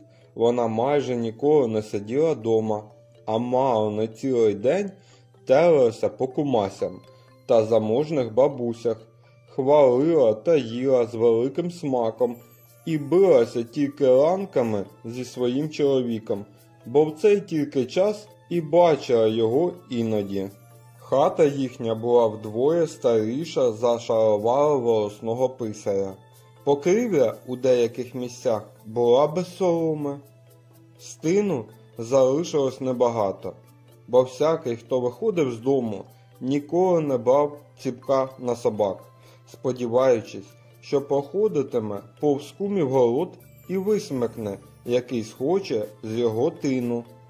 В печі не топилося днів по три. Все, що тільки напосить ніжна дружина в добрих людей, ховала вона якомога далі від свого чоловіка і часто самоправно відбирала в нього здобич, якщо тільки він не встигав попити її в шинку. Кум, хоч завжди перебував у байдужому настрої, не любив поступатися перед нею, і тому мало не завжди виходив з дому з ліхтарями під очима, а люба половина, ойкаючи, пленталась розказувати бабам про бешкетництво свого чоловіка та про побої, яких зазнала вона від нього. Тепер можна собі уявити, як були спантеличені ткач та кум таким несподіваним явищем. Спустивши мішок, вони заступили його собою і закрили полами. Та вже було пізно. Кумова жінка, хоч і погано бачила старечими очима, проте мішок помітила. Ось, це добре, сказала вона з таким виглядом, у якому помітна була радість яструба. Це добре, що наколядувала стільки. Отак завжди роблять добрі люди. Тільки ні. Я думаю, десь поцупили. Покажіть мені зараз, чуєте, покажіть зараз такий мішок ваш. Лисий дідько тобі покаже, а не ми, сказав, підбадьорившись кум. Тобі яке діло? сказав ткач. Ми наколядували, а не ти. Ні, ти мені покажеш, мерзений п'янюго, скрикнула жінка, вдаривши високого кума кулаком у підборіддя і добираючись до мішка. Але ткач і кум мужньо відстоювали мішок і примусили її податися назад. Не встигли вони опам'ятатись, як вона вискочила в сіни вже з коцюбою в руках. Поволно руснула коцюбою чоловіка по руках, ткача по спині і вже стояла біля мішка. Як же це ми допустили її, сказав ткач, опам'ятавшись. Еге, як ми допустили? А чого ти допустив? сказав спокійно кум. У вас коцюба видно залізна, сказав після недовгої мовчанки ткач, чухаючи спину. Моя жінка купила того року на ярмарку коцюбу, дала півкопи, але та нічого не боляче. Тим часом переможниця жінка, поставивши на дорівку каганець, розв'язала мішок і заглянула в нього. Та, мабуть, старечі її очі, що так добре побачили мішок, цього разу помирилась. Е, та тут лежить цілий кабан. скрикнула вона, сплеснувши з радості в долоні. Кабан! Чуєш, цілий кабан, штовхав ткач кума. А все ти винен. Що ж робити? промовив, знизуючи плечами кум. Як що? Чого ми стоїмо? Відберімо мішок. Ну, починай. Іди геть. Геть, це наш кабан, кричав виступаючи ткач. Геть, геть, чортова баба, це не твоє добро, казав, набежаючись кум. Жінка взялася знову за коцюбу, але чуб у цей час виліз з мішка і став посеред ціней, потягаючись, як людина, що тільки но прокинулась після довгого сну. Кумова жінка скрикнула, вдаривши опору руками, і всі мимоволі порозявляли роти. Що ж вона, дурна каже, кабан? Це не кабан, сказав кум, виречивши очі. Бач, якого чоловіка кинуло в мішок, сказав ткач, заткуючи з переляку. Що хоч кажи, хоч русне, а не обійшлося без нечистої сили. Він же не порізав у вікно. Це кум, скрикнув, подивившись кум. А ти ж думав, хто? сказав чуб, посміхаючись, що гарну я втяв з вами штуку, а? Ви, мабуть, хотіли мене з'їсти замість свинини? Стривайте ж, я вас потішу в мішку, лежить ще щось. Коли не кабан, то, мабуть, порося чи інша живність підо мною, без перестанку щось ворушилось. Ткач і кум кинулись до мішка. Господиня дому вчепилася з другого боку, і бійка щинилася би знову, якби дяк сам побачивши тепер, що нема куди дітись, не видряпався з мішка. Кумова жінка, остовпівши, випустила з рук ногу, за яку почала була тягти діяка з мішка. Ось і довго ще, скрикнув зрякано ткач. Чорт знає, як повелось на світі. Голова обертом іде. Не ковбаси й паляниці, а людей кидають у мішки. Це діяк, промовив здивований більше від усіх чуб. От тобі й маєш, от так солоха. Посадовити в мішок, то то я бачу в неї повна хата мішків. Тепер я все знаю. У неї в кожному мішку сиділо по два чоловіки. А я думав, що вона тільки мене самому, от тобі й солоха. Дівчата трохи здивувались, не знайшовши одного мішка. Нічого робити, буде з нас і цього, щебетала Оксана. Всі гуртом узялися до мішка і поклали його на санки.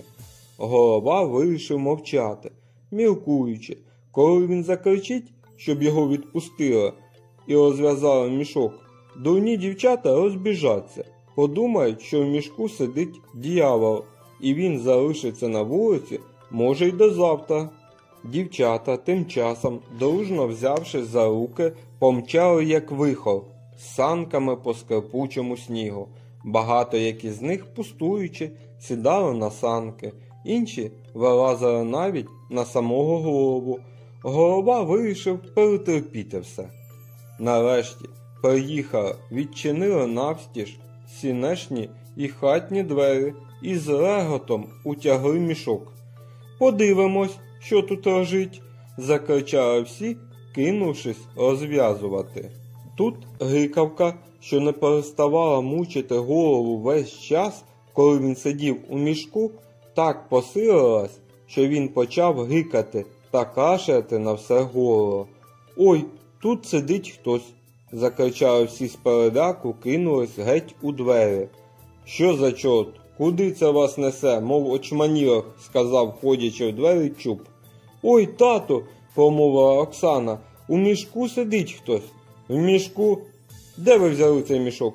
Коваль кинув серед дороги, сказали всі враз. Ну, так, хіба ж не я казав, подумав собі чуб. Чого ж ви злякались? Подивимось. Ану, чоловіче, прошу не погніватись, що не називаємо на ім'я та по батькові вилазь з мішка.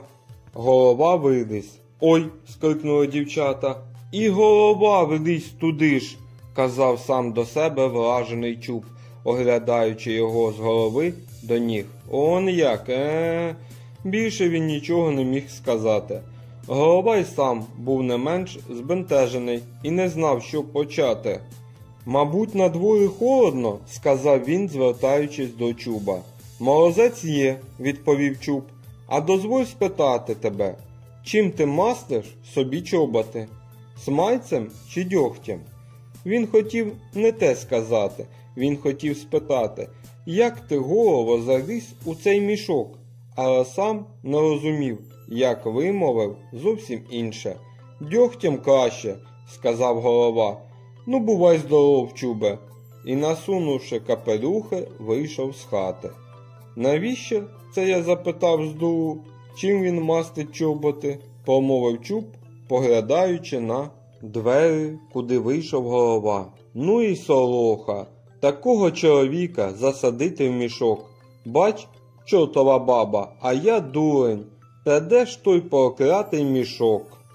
Я кинула його в куток. Там більше нічого нема, сказала Оксана. Знаю я ці штуки, нічого нема. Дайте його сюди. Там ще один сидить. Стусніть його гарненько. Що, нема? Бач, проклята баба, а подивитись на неї, як свята, наче й скромного ніколи не брала в рот. Але покиньмо чуба виривати на дозвіллі свою досаду і вернімося до коваля, бо вже на дворі, певно, година дев'ята. Спочатку страшно, здалося Вакурі, коли піднявся він від землі на таку висоту, що нічого вже не міг бачити внизу. Та полетів, як муха, під самим місяцем, так, що якби не нахилився трохи, то зачепив би його шапкою. Однак трохи згодом він підбадьорився і вже став навіть кепкувати з чорта. Його забавляло надзвичайно, як чорт чхав і кашляв, коли він скидав шиї кипарисового хрестика та підносив до нього. Навмисно підіймав він руку почухати голову, а чорт, думаючи, що його збираються хрестити, летів ще швидше. Все було ясне у височині, повітря у легкому серебрястому тумані було прозоре.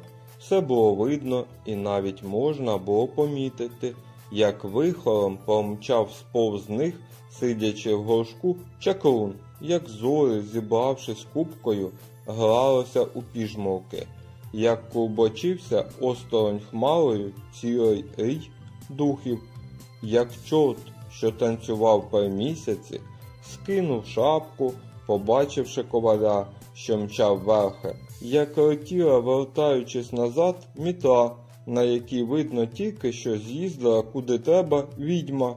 Багато ще погані зустрічали вони. Усе, бачивши коваля, на хвилину спинялося подивитись на нього, і потім знову мчала далі своєю дорогою. Коваль усе летів і враз засяяв перед ним Петербург увесь вогні. Тоді була з якогось приводу ілюмінація. Чорт, перелетівши через шахбаум, перекинувся конем, і коваль побачив себе на баскому бігуні посеред вулиці. Боже мій, стукіт, грім, блиск, по обидва боки височіють чотириповерхові стіни, стукіт кінських копит, звук коліс відбивалося громом і лунали з чотирьох боків. Будинки росли і ніби підіймалися із землі на кожному кроці, мости дрожали, карети літали, візники кричали, сніг свистів під тисячею саней, що мчали звідусіль, пішоходи турились і тиснулись під домами, що обнизали були плошками, і величезні тіні їх миготіли по стінах, сягаючи головою до димарів та дахів. Здивовано оглядався коваль на всі боки. Йому здавалося, що всі доми вп'ялися в нього своїми нещисленними вогняними очима і дивились. Панів, укритих сукном шубах, він бачив так багато, що не знав, перед ким шапку скидати. Боже ти мій, скільки тут панства, подумав коваль. Я гадаю, що кожен, хто тільки пройде вулицею в шубі, той засідатель, той засідатель, а ті, що катаються у таких чудових бричках із віконцями, ті, як не городничі, то вже певно комісара, а може ще й більше.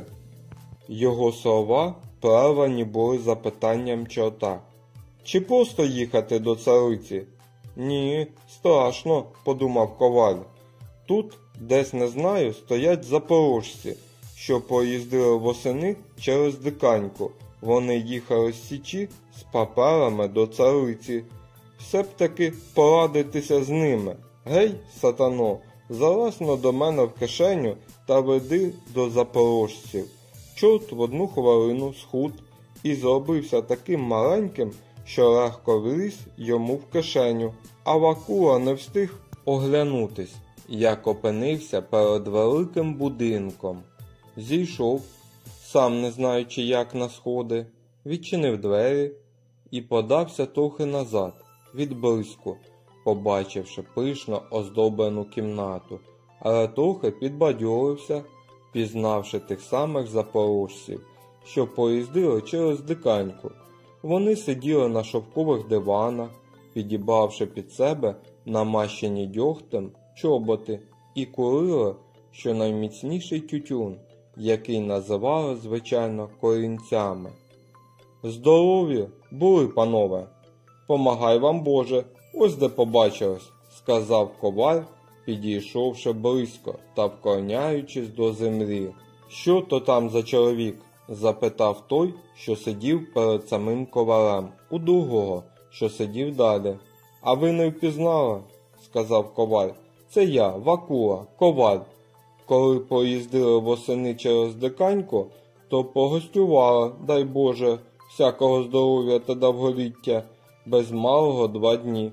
І нову шину тоді натяг на переднє колесо у вашій кибітці.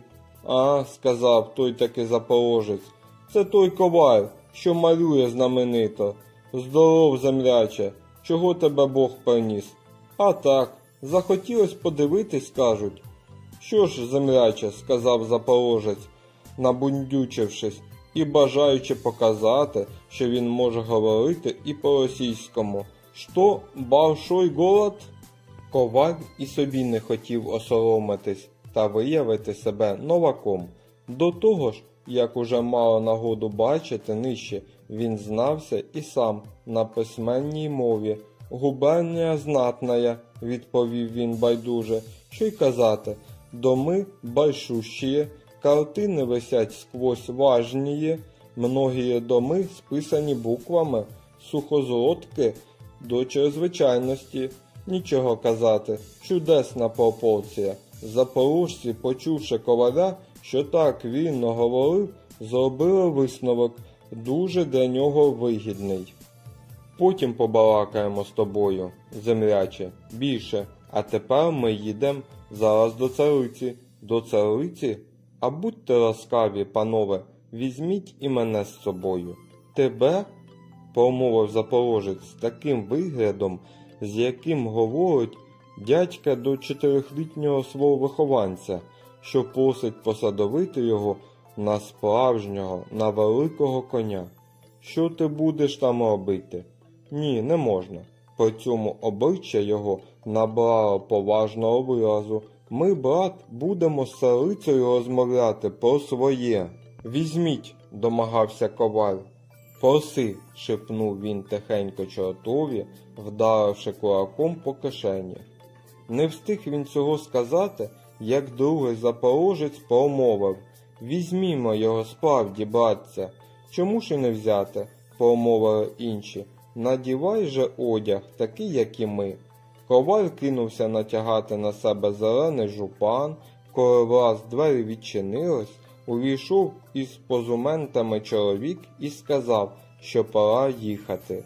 Дивно, знову здалося ковалеві, коли помчав він у величезній кареті, гойдаючись на ресурах, коли по обидва боки повз нього бігли назад чотириповерхові будинки, а брук із громом, здавалося, сам котився під ноги коням. Боже ти мій, яке світло, думав собі коваль. У нас вдень не буває так ясно. Карета зупинилася перед палацом. Запорожці вийшли, увійшли у розкішні сіни й почали йти по сліпуче освітлених сходах. Що за сходи? шепотів сам до себе коваль. Шкода ногами топтати, які прикраси. От кажуть, брешуть казки, який чорт брешуть. Боже ти мій, що за поруча, яка робота? Тут самого заліза карбованців на 50 пішло. Уже піднявшись на сходи, запорожці пройшли першу залу. Несміливо йшов за ними коваль, боячись на кожному кроці посковзнутись на паркеті. Пройшли три зали, а коваль усе ще не переставав дивуватись. Увійшовши до четвертої, він мимоволі підійшов до картини, що висіла на стіні. Це була перчиста діва з дитятком на руках. Що за картина, яке чудове малювання, міркував він. От, здається, говорить, здається, жива, а дитя святе, і рученята згорнуло, і усміхається, бідненьке, а фарби. Боже ти мій, які фарби, тут вохр, а я думаю, і на копійку не пішло, а все мідянка та бакан, а голуба. так і горить репська робота. Мабуть, ґрунт наведено було брайвасом. Проте, хоч яке продивне тут малювання, ця мідна ручка провадив далі він, підходячи до дверей і мацаючи замок, ще більше гідна подиву. Ех, як чисто вироблено. Це все, я думаю, німецькі коварі за високі ціни робили. Може б довго ще міркував коваль, якби лакей з галунами не штовхнув його під руку та не нагадав, щоб не відставав від інших.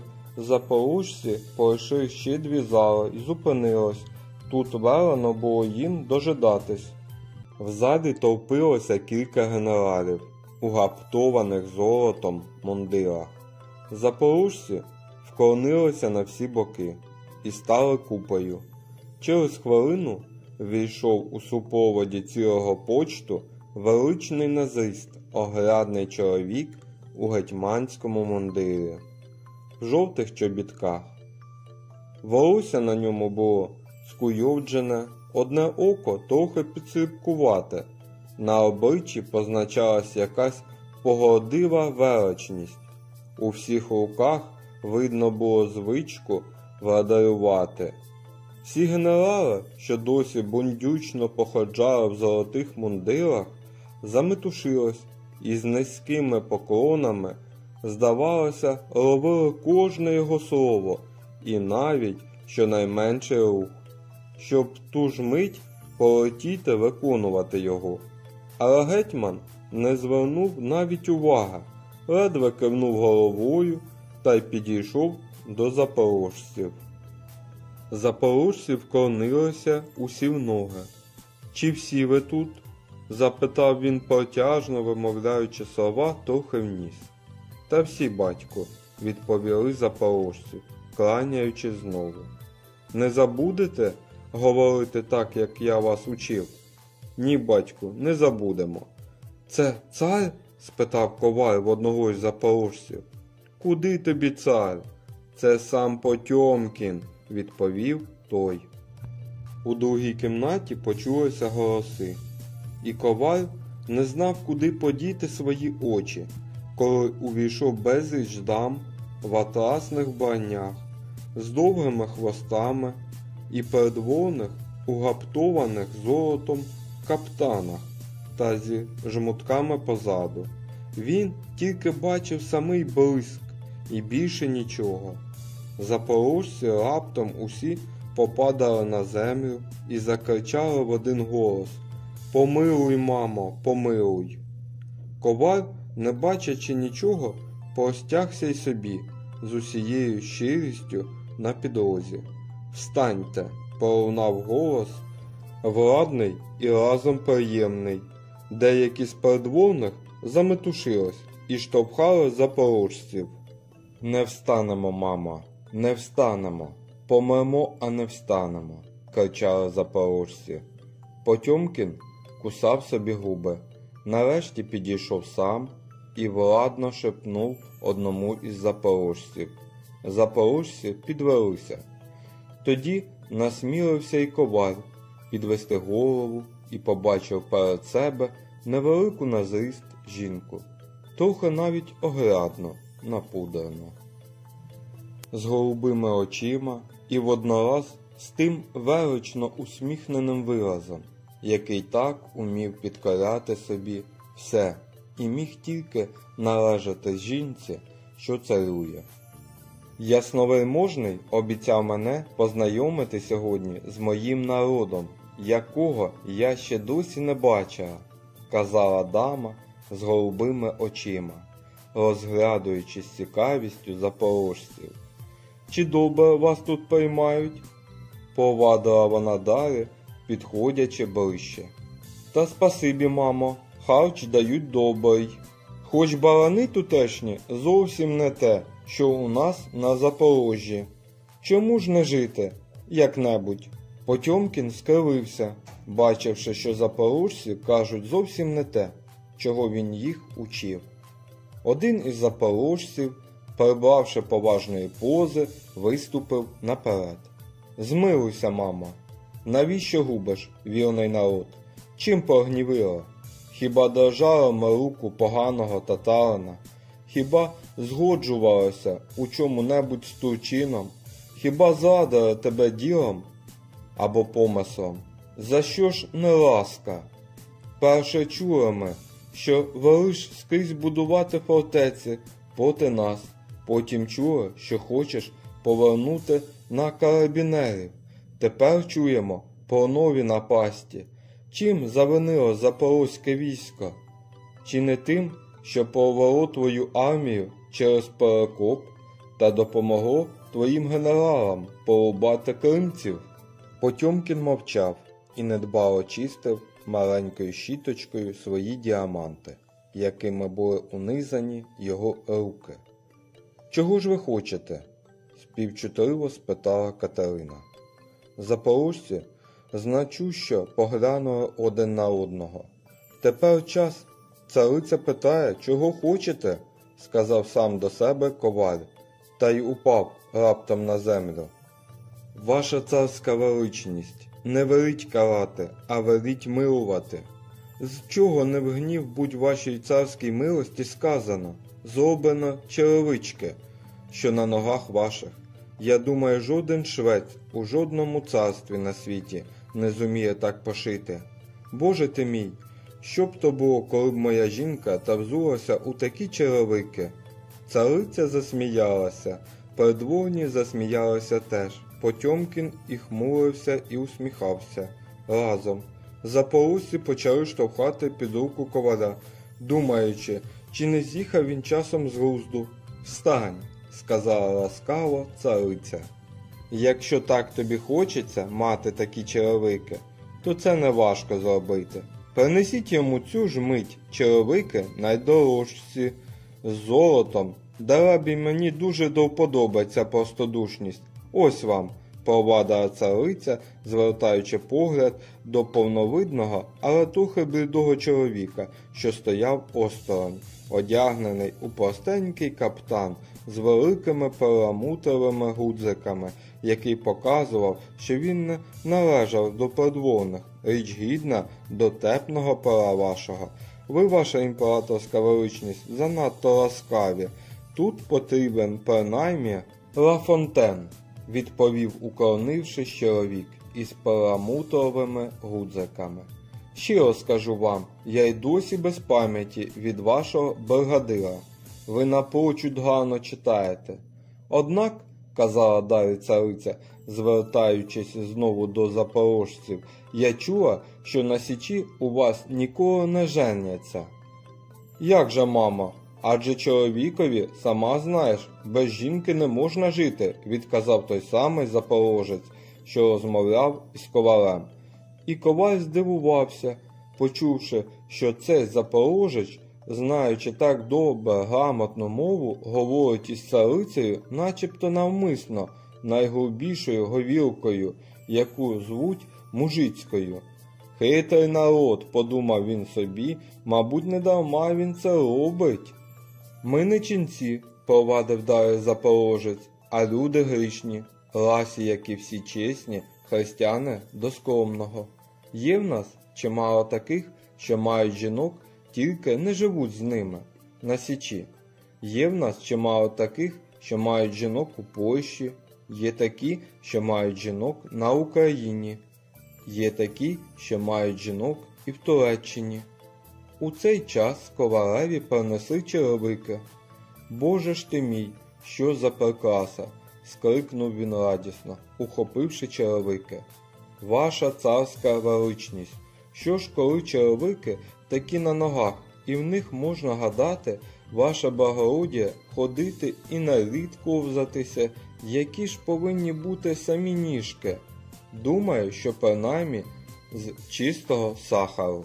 Цариця, що й справді мала найстункіші та пергарні ніжки, не могла не усміхнутись, чуючи такий комплімент із уст простодушного коваля, якого в його запорозькому убранні можна було вважати за справжнього красення, незважаючи на смагляве лице. Зрадівши з такої прихильної уваги, коваль уже хотів було спитати гарненько царицю про все. Чи правда, що цари їдять саме тільки мед та сало, і про подібні речі, але відчувши, що запорожці штовхають його під боки, вирішив замовкнути. І коли цариця, звернувшись до старих, почала розпитувати, як у них живуть на січі, які звичаї водяться, то він, відійшовши назад, нагнувся до кишені, сказав тихо Винось мене звідси хучій, та й опинився раптом за шагбаумом. Утопився, їй богу, утопився. От щоб я не зійшла з цього місця, коли не втопився, репетала товста ткачиха, стоячи в гурті деканських баб посеред вулиці. Що ж, хіба я брехуха, хіба я в кого-небудь корову вклала, чи кому хіба наволочила, що мені не ймуть віри, кричала баба в козацькій свитці з фіолетовим носом, розмахуючи руками. От щоб мені води не захотілось пити, коли баба не бачила на власні очі, як повісився ковар. Ковар повісився, от тобі й на, сказав голова, який, виходячи від чуба, спинився і потиснувся ближче до тих, що розмовляли. Скажи краще, щоб тобі горілки не захотілося пити. Стара п'янюго, відповіла ткачиха. Треба бути такій божевільній, як ти, щоб повіситися. Він утопився, утопився в ополонці. Це я так само знаю, як те, що ти була оце в шинкалки. Соломітниця, бач, чим стала дорікати, гнівно відказала баба з фіолетовим носом. Мовчала б, негідниця. Хіба я не знаю, що до тебе діяк ходить щовечора? Ткачиха спалахнула. Що, діяк? До кого діяк? Що ти брешеш? Діяк? сказала, пообиваючись до тих, що сперечались, діячиха у заячому кожусі. Я дам знати дяка. Хто це каже дяк? Та ось до кого ходить дяк, сказала баба з фіолетовим носом, показуючи на ткачиху. То це ти, суко, закричала дячиха, підступаючи до ткачихи. То це ти, відьмо, напускаєш на нього туману та напуваєш нечистим зіллям, щоб ходив до тебе. Відчепись від мене, сатано, говорила, заткуючи ткачиха. Ач проклята відьма, бодай ти не діждалась діток своїх бачити, негідниця. Тут діячиха плюнула просто меже очі ткачисі. Ткачиха хотіла й собі зробити те саме, та замість того плюнула в бороду голові, який, щоб краще все почути, протовпився до тих, що сперечалися. А погана баба. закричав голова, утираючись полою та замахуючись батогом. Цей рух примусив усіх розійтись, лаючись в різні кінці. Така мерзота, повторював він усе, ще обтираючись. То коваль утопився, боже ти мій, а який знаменитий маляр був, які ножі міцні, серпи, пруги умів виковувати. Яка сила була, еге ж, повадив він далі, замислившись. Таких людей мало в нас на селі. Тож би я, ще сидячи в проклятому мішку, примічав, що бідолаха був у дуже недоброму настрої. От тобі коваль був, а тепер і нема. А я збирався був підкувати свою кобилу. І сповнений таких християнських думок, голова тихо поплентався у свою хату.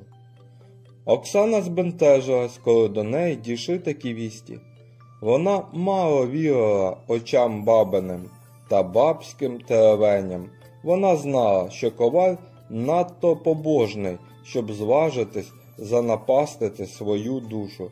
Та що, коли він і справді пішов з наміром ніколи не вертатись у село, а навряд чи в іншому місці знайдеться такий хлопець, як коваль. Він же так її кохав, він довше за всіх зносив її вередування.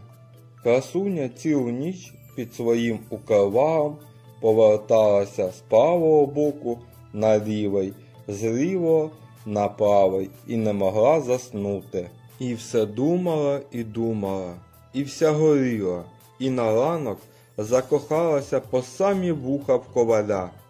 Чуб не виявив ні радості, ні смутку про долю Вакули. Його думки заповняло одне він ніяк не міг забути заадривої сорохи, і сонний не переставав ганити її. Настав ранок, уся церква ще до схід сонця була повна людей, літні жінки в білих намітках, в білих сукнях, свитках побожно хрестились біля самого входу церковного. Дворянки в зелених і жовтих кофтах, а деякі навіть у синіх кунтушах із золотими вусиками стояли поперед них. Дівчата, у яких на головах намотана була ціла камниця стрічок, а на шиї намиста, хрестів та дукачів, намагалися потопитися ще ближче до іконостасу. Та попереду усіх стояли дворяни і прості селяни з вусами, з чубами, з товстими в'язами і щойно виголеними підборіддями. Здебільшого все в кобеняках, з-під яких виставлялася біла, а в деякої синя свитка. На всіх обличчях, куди не поглянь, видно було свято. Голова заздалегідь облизувався, уявляючи, як він розговіється ковбасою. Дівчата подумували про те, як вони будуть ковзатися з хлопцями на льоду. Баби щиріше, ніж будь-коли, шептали молитви. На всю церкву чути було, як козак Свербегус бив поклони. Одна тільки Оксана стояла ніби сама не своя, і молилася, і не молилася. На серці в неї зібралося стільки всяких почуттів, одне від одного болючіших, одне від одного сумніших, що обличчя її виявляло саме тільки велике збентеження, сльози берніли в очах. Дівчата не могли збагнути причини цього і не підозрювали, що винен був коваль.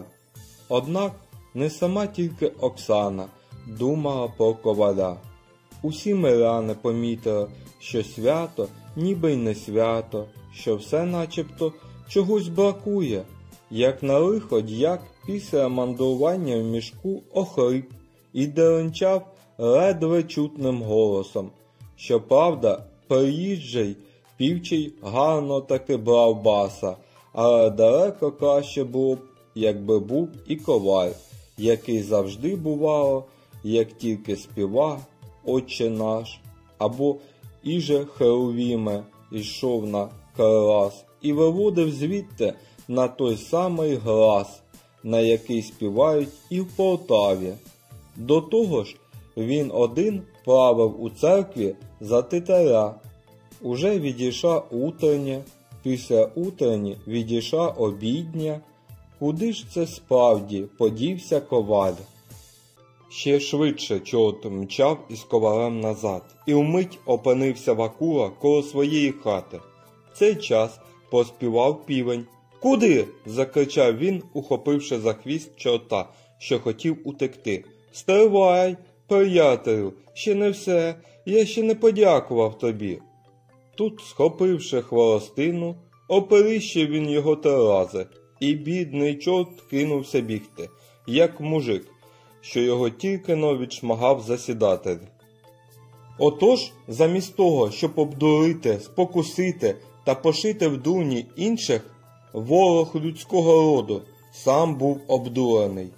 Після цього Вакула війшов у сіне, залився в сіно і проспав аж до обіду. Прокинувшись, він злякався, коли побачив, що сонце вже високо. Я поспав утренню і обідню.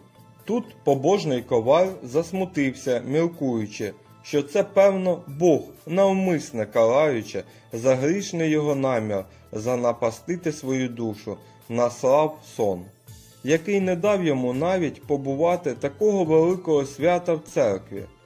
Та проте, заспокоївши себе тим, що наступної неділі висповідається у цьому попові і з нинішнього дня почне бити по 50 поклонів цілий рік. Заглянув він до хати. Але в ній не було нікого. Як видно, солоха ще не поверталась. Обережно витяг він із-за пазухи черевики і знову здивувався з дорогої роботи та дивовижної пригоди минулої ночі. Умився, причепурився, як найкраще одягся у те саме вбрання, що добув у запорожців. Вийняв зі скрині нову шапку, яку не надівав ще жодного разу, відколи купив її, ще бувши в Полтаві. Вийняв також новий барвистий пояс, поклав усе це разом з нагайкою в хустку і подався просто до чуба. Чуб виречив очі, коли війшов до нього коваль, і не знав, з чого дивуватись, чи з того, що коваль воскрес, чи з того, що коваль насмілився до нього прийти, чи з того нарешті, що він вирядився таким чепуруном і запорожцем. Та ще більше здивувався він, коли Вакула розв'язав хустку і поклав перед ним новісіньку шапку і пояс, якого ще не було на селі, а сам упав йому до ніг і сказав благальним голосом Змилуйся, батьку, не гнівайся. Ось тобі і нагайка, бий, скільки душа забажає, віддаюсь сам, у всьому каюсь, бий, та не гнівайся тільки. Ти ж колись братався з покійним батьком, разом хліб сірю і моголич пили. Чуб не втіхи бачив, як коваль, що нікому на селі у вус не дув, згинав у руці п'ятаки підкова, як гречані млинці. Той самий коваль лежав тепер коло ніг у нього. Щоб ще більше підтримати гідність, чуб узяв нагайку і вдарив його тричі по спині. Ну, буде з тебе, вставай. Старих людей завжди слухай. Забудьмо все, що було між нами. Ну, тепер кажи, чого тобі хочеться? Віддай, батько, за мене Оксану. Чуб трохи подумав, подивився на шапку та пояс. Шапка була чудова, пояс теж не поступався перед нею. Згадав зрадливу солоху і сказав рішуче Добре, пересилай сватів. Ой. скрикнула Оксана, переступивши поріг, побачивши коваля і втупивши з подивом і радістю в нього очі. Поглянь, які я тобі приніс черевики, сказав Вакула, ті самі, що носить цариця. Ні, ні, мені не треба черевиків, говорила вона, махаючи руками і не зводячи з нього очей. Я й без черевиків. Далі вона не договорила і зашарілась. Коваль підійшов ближче, взяв її за руку, красуня, і очі опустила. Ще ніколи не була вона така дивовижно гарна. Захоплений коваль тихо поцілував її. Обличчя її ще більше зашарілось, і вона стала ще краще. Поїздив через диканьку блаженної пам'яті архієрей, хвалив місце, де стоїть село, та йдучи вулицею, спинився перед новою хатою. А чия це така розмальована хата? спитав він у молодиці з немовлятком на руках, що стояла коло дверей. Коваля Вакула, сказала йому, кланяючись Оксана, бо це саме вона була. Славна, славна робота, сказав первосвящений, розглядаючи двері та вікна. А вікна всі були обведені кругом червоною фарбою, а на дверях всюди були козаки на конях з люльками в зубах. Та ще більше похвалив первосвящений Вакулу, коли дізнався, що він додержав церковного покаяння і пофарбував задарма увесь лівий клас зеленою фарбою, з червоними квітками. Це про те, що не все на стіні збоку, як увійдеш у церкву, намалював Вакула чорта в пеклі, такого гидкого, що всі плювали, коли проходили повз нього. А молодиці, як тільки розплакувалось у них на руках дитя, підносили його до картини і говорили Он бач, яка кака намальована, і дитя, стримуючи слізоньки, скоса поглядала на картину і тулилося до лона своєї матері.